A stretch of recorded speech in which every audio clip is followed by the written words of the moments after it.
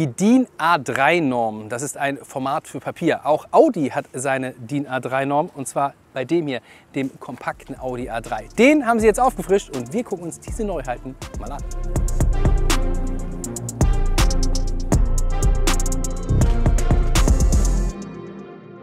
Wenn wir einen Blick auf diesen A3 werfen, dann sehen wir auch, es gibt neue Farben. Das ist eine davon. Vier Stück an der Zahl sind es.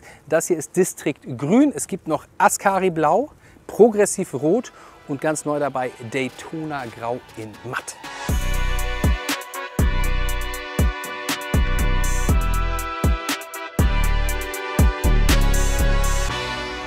Der Chefdesigner von Audi, der heißt Marc Lichte und der hat dem Namen nach was mit Licht zu tun. Und das Wortspiel hat er sicherlich auch noch nie gehört. Aber der ist in diesem Fall gar nicht verantwortlich, sondern Cesar Montada. Der hat nämlich das hier kreiert und zwar ist der Leiter für das Design Light Experience. Und der hat eingeführt beim A3, dass man dieses Tagverlicht verändern kann. Und zwar in vier verschiedenen Versionen. Weil es jetzt so hell ist, sieht man es zwar einigermaßen, aber wir blenden euch das jetzt mal ein.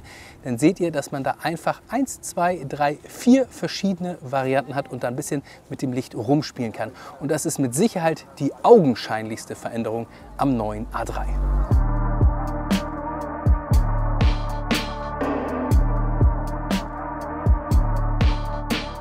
Das Licht ist natürlich nicht das Einzige, was sich vorne verändert hat. Wir haben natürlich auch hier einen neuen Frontspoiler. Wir haben auch einen neuen Grill bzw. eine neue Struktur im Grill. Wir sehen hier diese kleinen L-Formen, die sollen das Ganze noch ein bisschen dynamischer machen. Ist jetzt ein bisschen schwerer zu erkennen, weil hier schwarz auf schwarz ist. Wenn es hier in Chrom eingefasst ist, sieht man es noch besser, aber insgesamt auf jeden Fall ein dynamischerer, breiterer, flacherer Auftritt.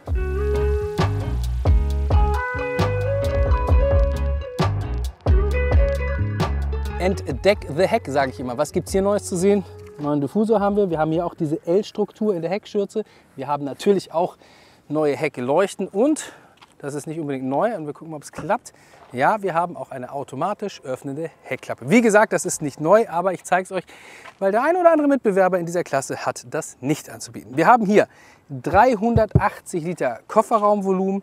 Wenn man die Sitze umklappt, dann sind es bis zu 1200 Liter. Und wir haben natürlich auch hier einen doppelten Boden. Alles nicht neu, ich zeige es euch aber, damit ihr auch wirklich alles gesehen habt. So, geht auch automatisch wieder zu.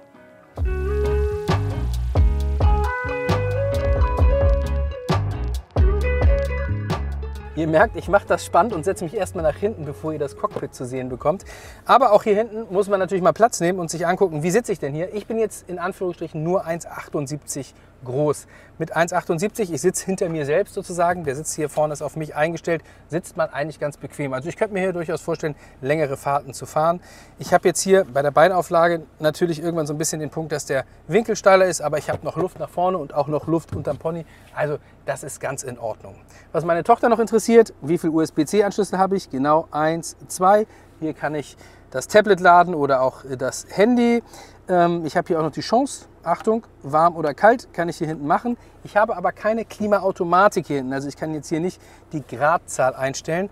Was ich in diesem Fall auch nicht habe, ist hier eine Möglichkeit, eine iPad-Halterung anzubringen. Aber das liegt daran, dass diese Kopfstützen integriert sind, ist aber nur bei der S-Line so. Was habe ich noch nicht? Sitzheizung hier hinten. Habe ich nicht, kann ich auch nicht bestellen. Wird meine Tochter jetzt sehr traurig machen. Aber ich glaube, in einem Kompakten ist das durchaus zu verschmerzen.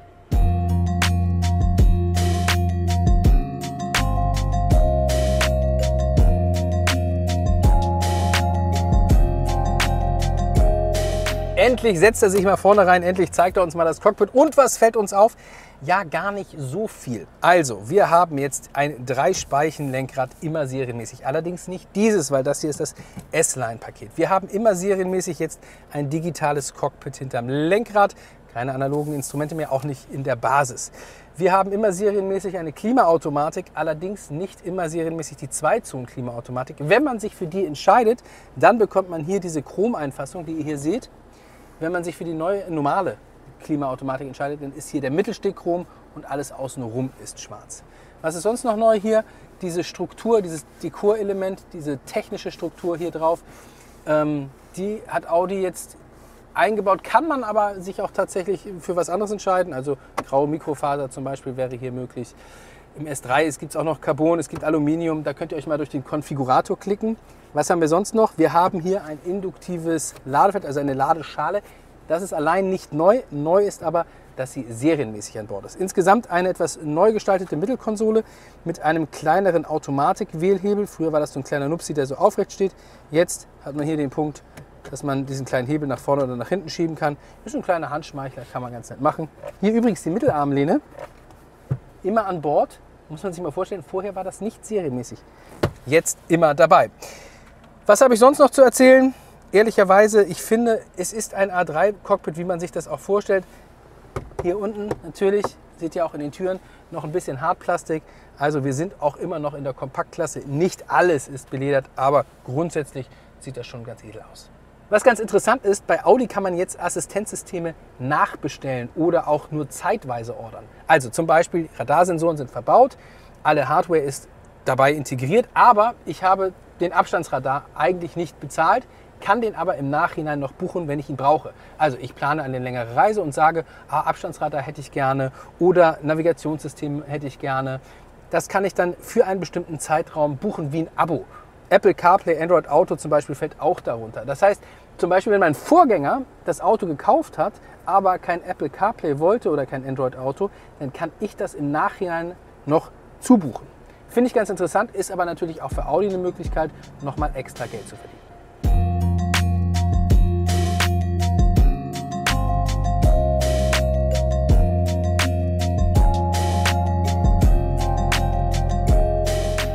Kommen wir nun zum Herz des neuen A3 oder des A3 Facelifts. Wir haben hier den MQB, also den modularen Querbaukasten, allerdings in der Evo-Ausstattung. Das heißt, in diesem Fall gibt es einen Benzinmotor mit Mild-Hybrid-Technik, also ein 1,5 Liter TFSI Mild-Hybrid. Der hat 150 PS und ist gekoppelt an eine 7-Gang S-Tronic, also an ein Doppelkupplungsgetriebe. Es wird auch noch eine Version geben mit einem 2 Liter Diesel, ebenfalls gekoppelt an das 7-Gang S-Tronic. Die Handschalter, die kommen ein bisschen später nach und dann wird es auch noch eine Basisversion geben. Die Basisversion hat jetzt 4 Zylinder und 116 PS. Der Dreizylinder entfällt komplett. Soweit, so klar hoffe ich. Das heißt, wenn ihr zum Start ein Auto haben wollt, dann kriegt ihr den nur mit 150 PS und könnt euch entscheiden, ob Diesel oder Benzin.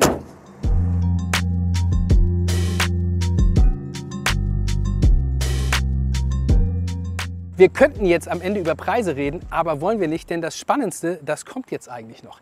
Denn mit dem A3 Facelift kommt auch eine neue Variante ins Spiel und zwar der hier. Das ist der A3 All Street. Warum nicht All Road? Naja, weil der hier kein Allradsystem hat, also kein Quattroantrieb, sondern nur Frontantrieb. Aber es ist sowas wie die Offroad-Variante des A3. Woran erkennt man das? Naja, natürlich hier am angedeuteten Unterfahrschutz. Er hat auch einen anderen Grill, sieht ein bisschen rustikaler aus, bisschen mehr in so eine SUV-Form gehend, bisschen mehr Q-Modell und er hat natürlich diese Plastikbeplankung da vorne und hier an den Seiten. Das Wichtigste aber an diesem Auto, er liegt natürlich höher. Drei Zentimeter sind es tatsächlich. Wie erreichen Sie das bei Audi? Naja, zum einen ist er einfach mal mit einem anderen Fahrwerk ausgestattet. Das bringt anderthalb Zentimeter. Wir haben außerdem 17 Zöller in der Basis, 18 Zöller als Option. Das bringt nochmal anderthalb Zentimeter. Und was man auch nicht unterschätzen darf, man kommt einfacher rein. Tja, ja. Und man kommt auch einfacher wieder raus. Das heißt, es ist auch ein komfortablerer Ein- und Ausstieg. Das heißt, es geht nicht nur um die Offroad-Optik, sondern es geht auch so ein bisschen um Komfort. Aber jetzt kommen wir zu den Preisen.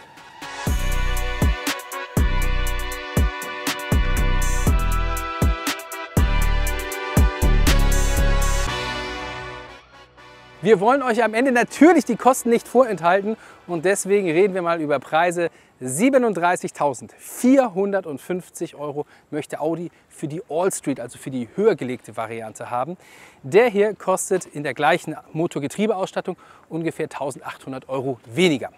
Wenn man aber auf die Basis warten möchte, also den hier mit 116 PS haben will, dann bezahlt man nur in Anführungsstrichen 31.300 Euro. Natürlich auch viel Geld, aber im Vergleich zu seinen Mitbewerbern immer noch günstig. Und genau da ist eigentlich auch die A3-Norm von Audi, was das Geld angeht, denn die sind immer ein bisschen günstiger als die anderen Premium-Kompakten. So, das war's an dieser Stelle. Ich würde mal sagen, schreibt in die Kommentare, was ihr vom A3 Facelift haltet. Sowohl von dem hier als auch von dem hier.